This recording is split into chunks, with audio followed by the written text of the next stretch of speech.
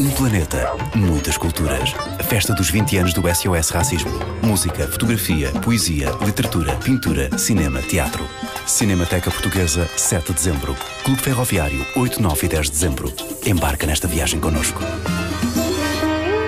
A ideia principal que nós eh, queremos transmitir com a, com a intervenção do SOS é, sobretudo, primeiro, que a luta contra a discriminação racial que a luta tem que ser uma luta feita por cada uma e cada um de nós.